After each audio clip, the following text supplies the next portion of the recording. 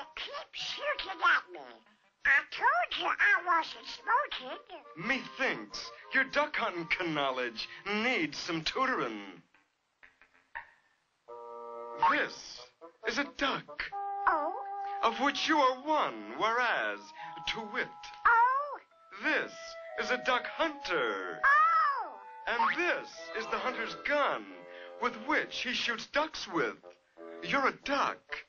Ergo, he shoots you. Oh, oh. You understand?